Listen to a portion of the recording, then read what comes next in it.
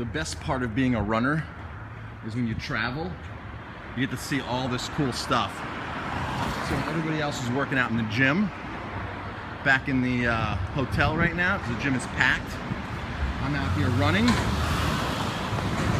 and exploring New Orleans. First thing in the morning. It's always been my favorite thing to do, visiting cities.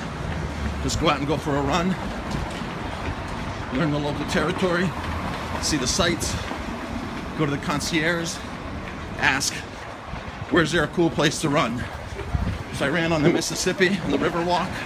Now I'm just running through towns, running through some cool streets in New Orleans.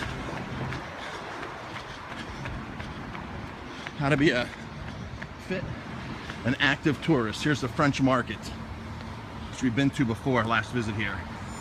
This place will be booming soon.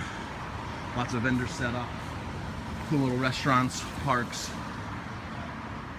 So, the benefits of running.